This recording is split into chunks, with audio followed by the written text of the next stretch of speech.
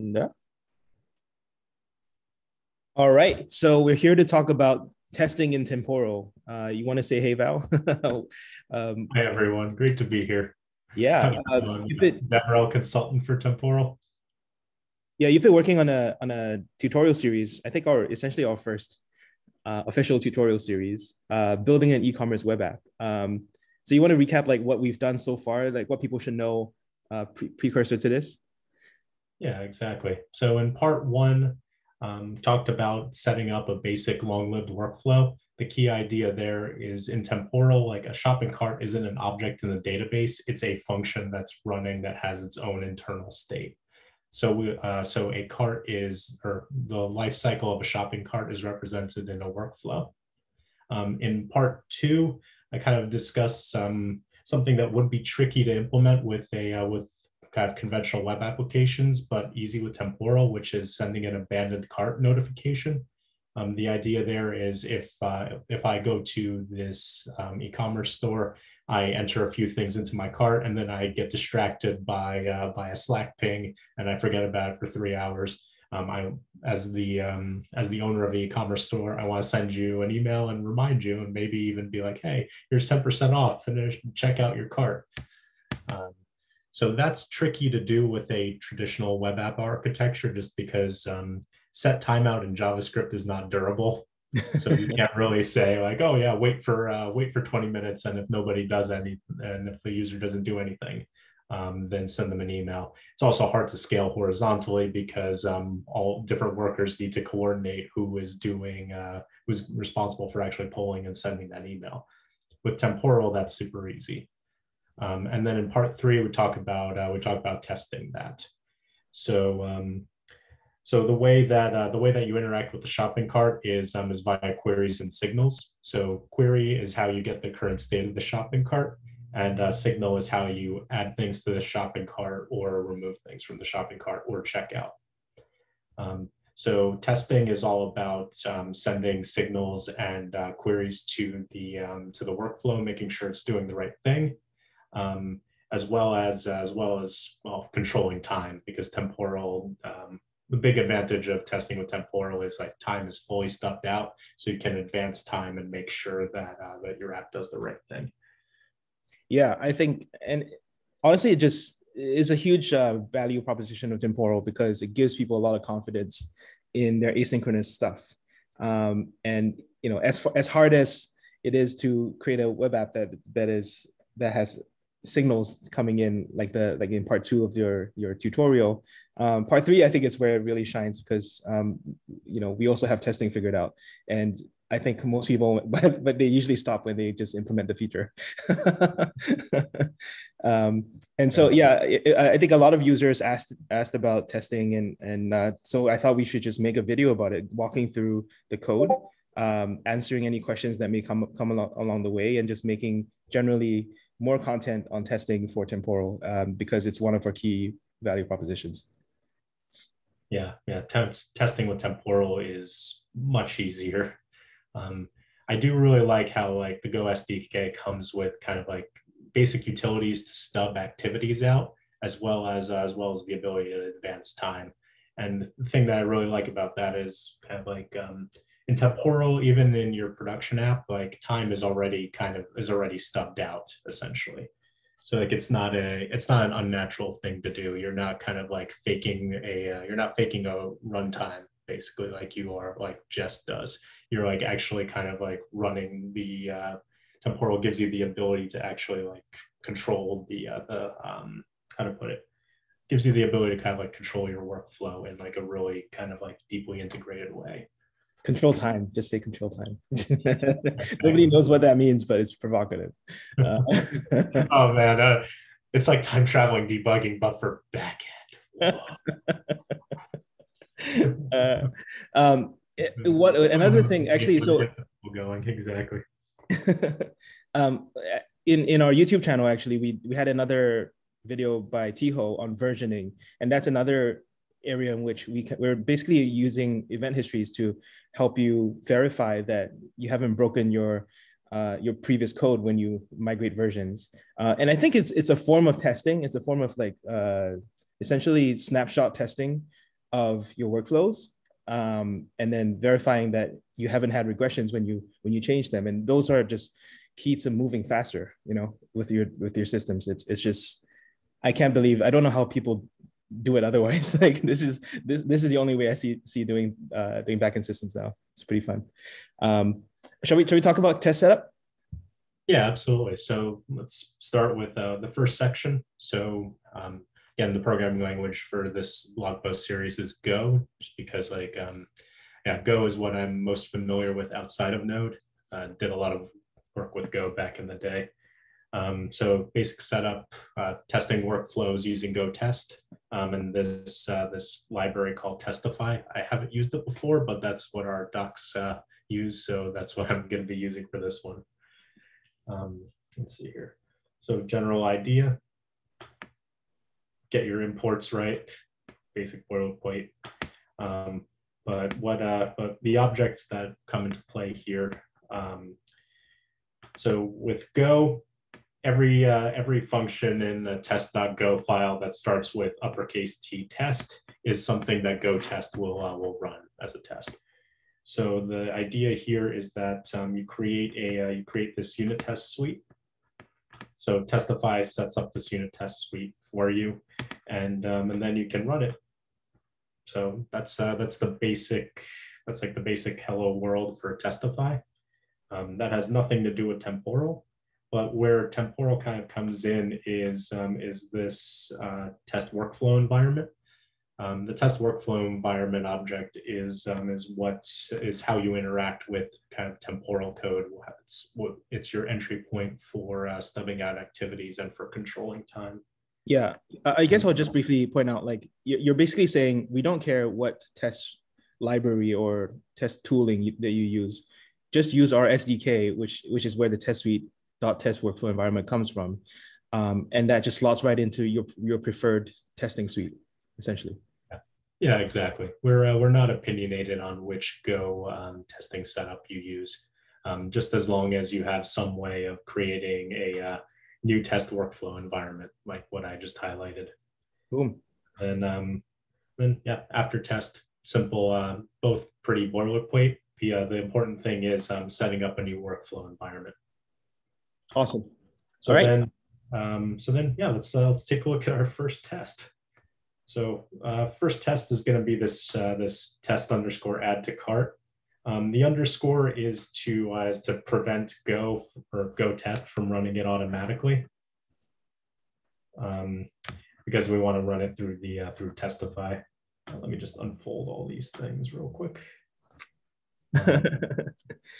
yeah, so let's see here. So the general idea here is um, a shopping cart has an initial cart state which is uh, basically it's um, it's an object that has an empty array items. Um, we uh, and then we execute the uh, we execute a workflow. Um, again, in temporal, a, uh, a workflow or a shopping cart is a workflow. So let me just pull that pull up the shopping cart workflow. Um, it's kind of long and hard to digest just by looking at the uh, just by walking through it on um, in a video. Um, you can read it, but the uh, the general idea here is that the entire like one function execution corresponds to one shopping cart object. So like you have this, uh, so you ex when you execute a workflow, you're basically creating a new shopping cart. Um, when you um, when you execute a query, so this query handler, you're uh, you're getting the current state of the shopping cart. And then there's basically this infinite for loop where um, where the shopping cart is listening for signals that modify the, uh, the, the, current state of the shopping cart. Um, so in order to test that, um, so this first test is basically testing that you can uh, you can create a shopping cart and then you can add something to the shopping cart. So the idea here, um, I execute this workflow. Um, this register delayed callback um, tells temporal to basically execute this after one millisecond of virtual time. Now that's um, that's going to be important later because this isn't actually one millisecond of wall clock time. It's one millisecond of like virtual time in temporals, uh, temporal world. Um, for the purposes of this, it doesn't matter, but, um, but when this number starts getting very big, it will matter.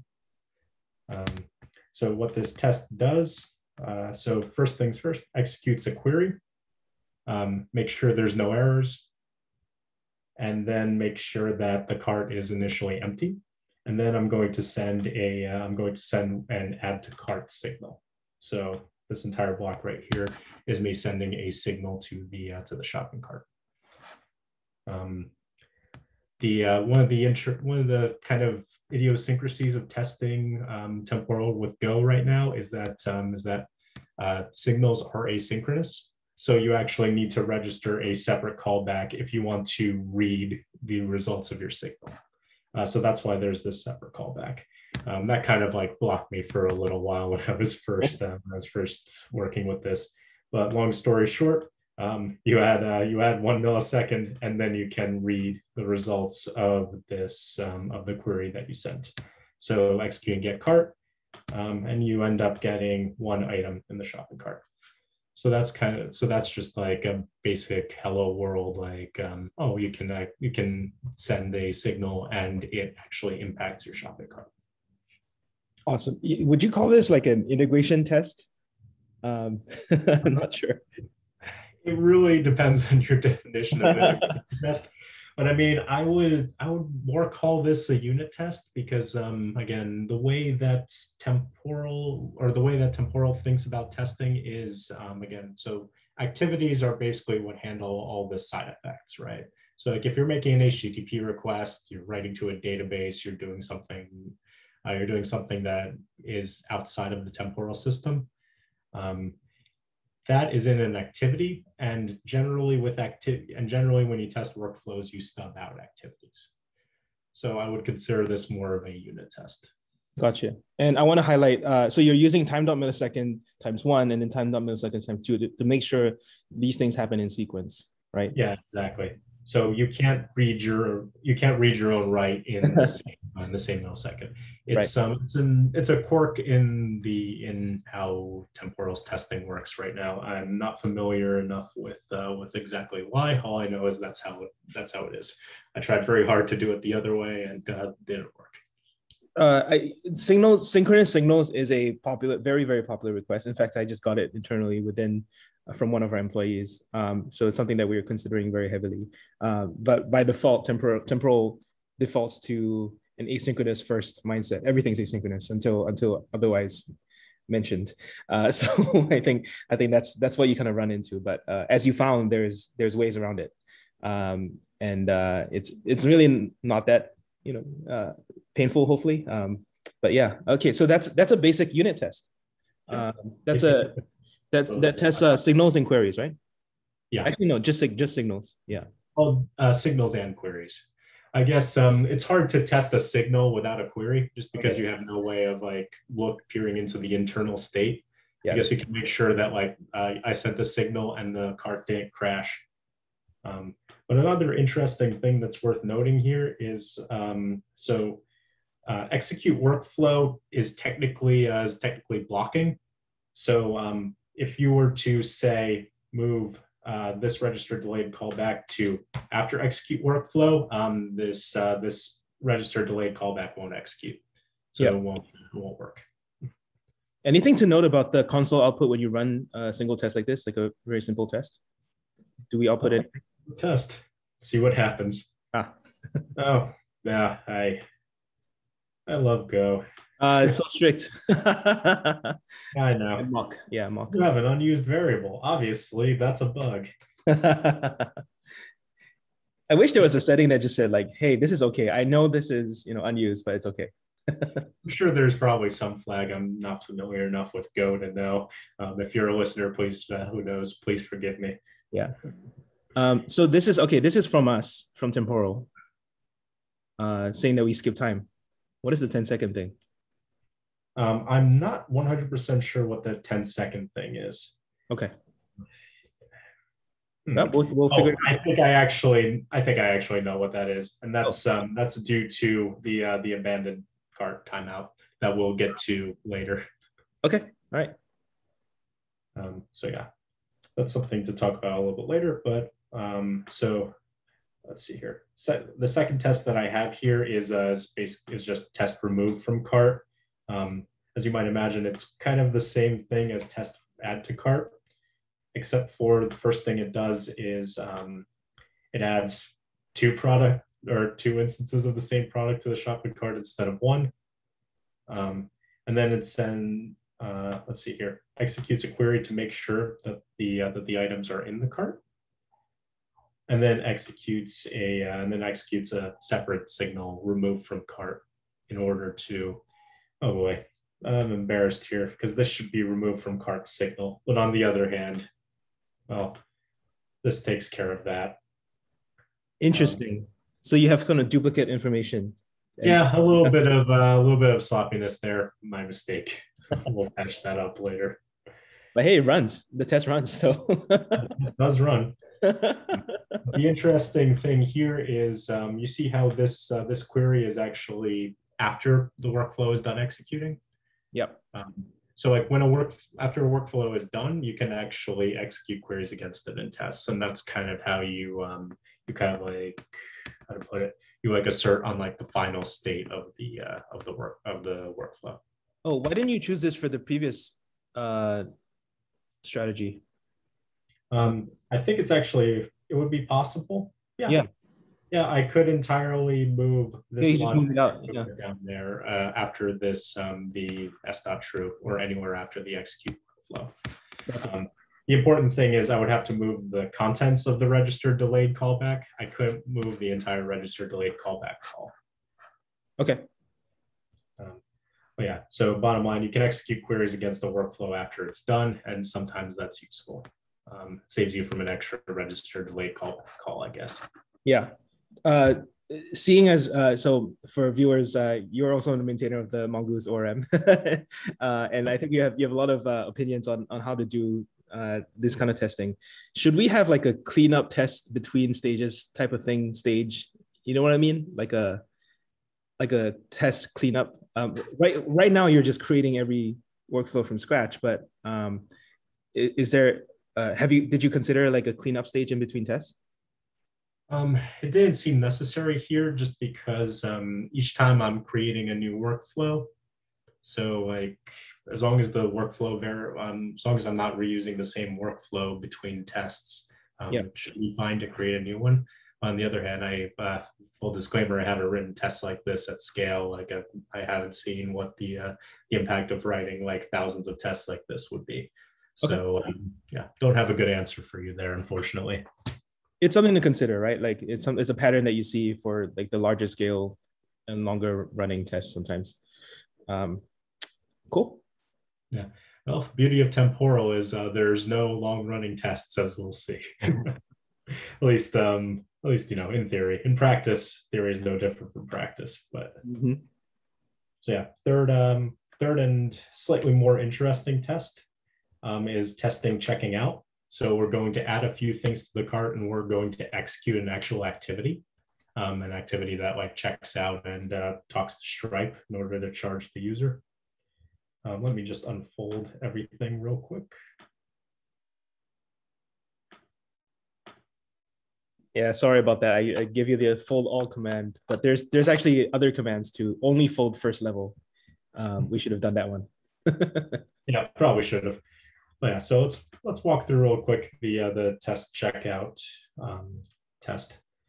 Uh, so yeah, creating a creating a new shopping cart.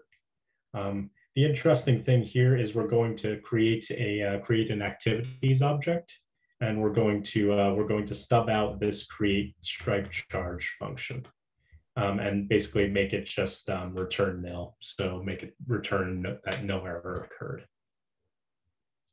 Um, so this is how you basically stub out an activity and say that, oh, okay, like pretend the stripe charge succeeded, run the rest of the uh, run the rest of the logic. That's really and, uh, yeah. So the, must, must the must the return function of the mock exactly match the the original activity? Uh, yes, the right. return values anyway. Yeah. So um, let me pull up the create stripe charge activity if I can. Yeah, so here we go. Here's the uh, here's the create stripe charge activity function. So as you can see, it takes two parameters, uh, context and shopping cart or the cart state. And that's the uh, the same parameters here. And then the return value is just um, an error. Yep. So in this case, we're returning an error. Error is hard coded to be nil. So in Go, that means uh, no error occurred. Uh, stripe charge went through successfully. So yeah. Okay, so first things first, um, add a product, add one product to the cart. And then we're going to send a, and then in a separate register delayed callback, I have a query that makes sure that the item is in the cart, just a quick spot check. And then we send this, uh, this checkout signal. So uh, checkout signal takes in an email address just to say like, oh, this is the person who's, uh, who's checking out. And um, then what the test does is it, ex- it it asserts that um, that the workflow is completed after uh, after we've set the checkout. Um, one thing that I would love to put here is like asserting that the um, that the Stripe activity was actually called, but I haven't done that yet. Gotcha. Why would you? Why is that necessary? Um, well, technically, there's no guarantee that the uh, that the Stripe activity was called at all in this. All I all I know is so it was mocked out but um, but who knows? There could be some bug uh, that the stripe activity is never called to begin with. So would you do like a boolean toggle type of thing? Yeah, I think that's what I do in the um in the last test. Okay, let's see it. Yeah. The last test is the most interesting one. This is where we test the uh, the abandoned cart workflow.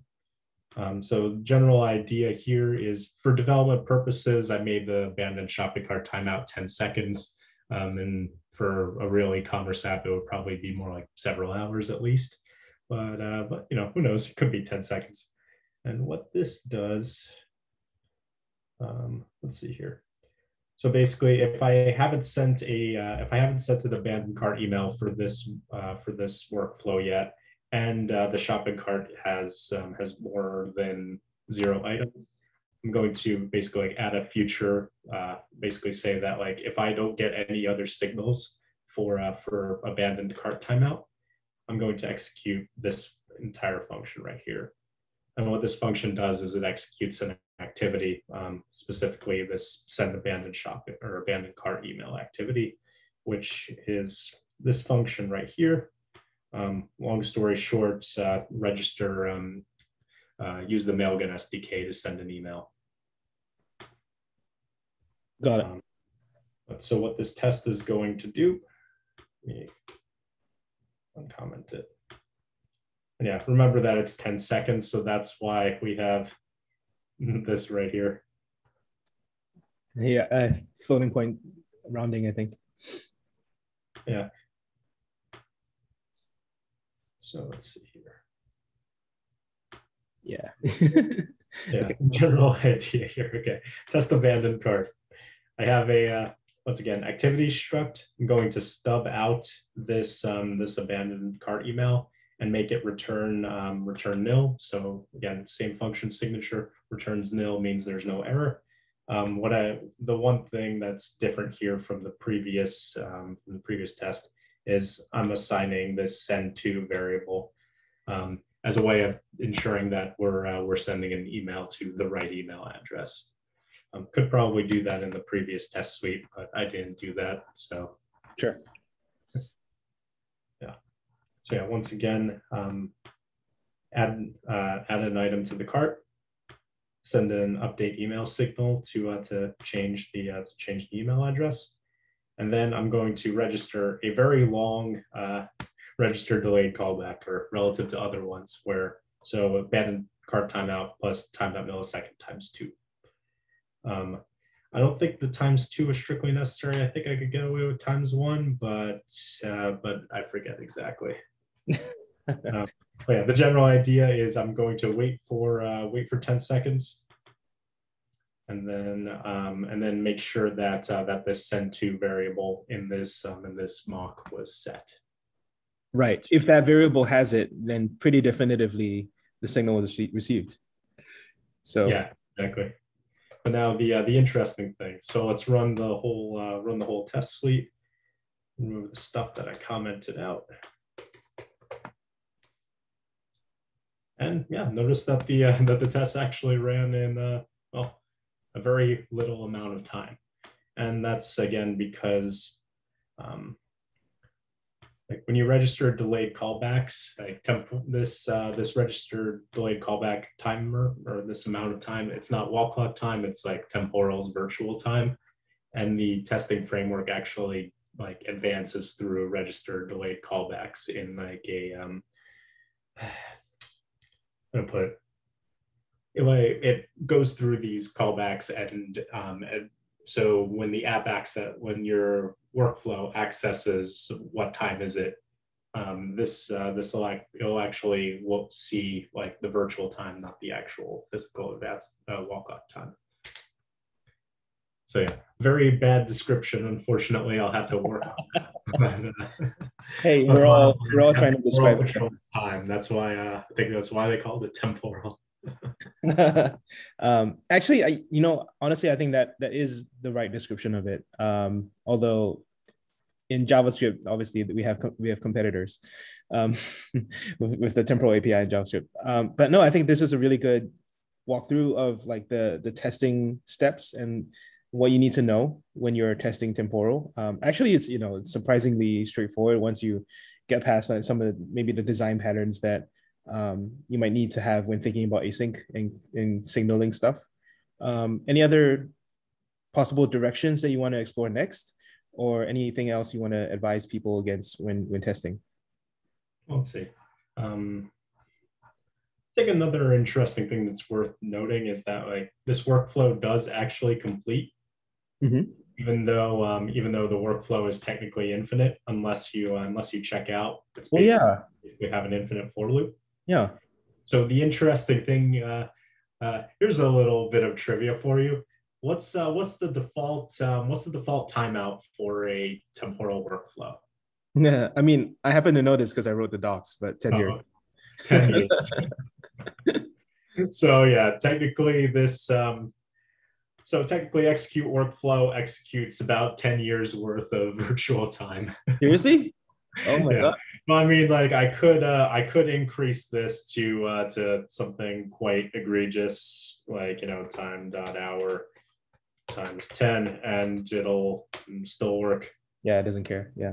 Yeah. You know, could probably crank it up to time dot years times nine. And oh yeah, you see the nine hour fifty nine minute forty nine point nine nine. It seems to it seems to round things in an interesting way. So yeah. it lopped off 10 I seconds. I think it's um I think it's only because like there's like a time skip oh. 10 seconds here. So I think um this right here Oh my god, that's precise to the previous uh the previous time. Plus the one millisecond. Here it, so timer duration one one millisecond, 10 seconds, and then 10 hours. Yeah. But here it's okay, you know, like, oh, I wait one millisecond, now I wait 10 so this is basically like 10 hours minus 10 seconds plus one millisecond. Got it. That's actually very precise. I, I actually I was blaming, you know, IE IEEE 754 uh, for the floating point thing, but actually it's precise because the 0.999 is uh, you know deducting one millisecond, which is great. yeah, exactly. Wait, so so must we test? Must must we assert that the workflow is completed? Uh, why not just delete that line? Um, not strictly necessary. You're right. Okay. But um, it was it was something that um that the docs had that I just kind of copied because I figured err on the side of um err on the side of be doing the same thing that the docs do. Yeah. But okay. as far as I can tell, it's not very necessary and uh, doesn't provide much value because the workflow will be completed afterwards anyway. I don't really know of a way where like the workflow can continue or can still can be like not completed after the uh, after execute workflow is done. Okay. If we find any, if we find out otherwise, we will learn and make a se- separate video on why workflows have to be completed. Uh, but otherwise, I think this is a really great recap. Um, it helps people understand testing. I think our discussion back and forth, my questions to you probably are people uh, questions that people had anyway. So uh, thanks so much for taking the time, Val. Yeah, absolutely. Thanks for having me, Sean. I'm going to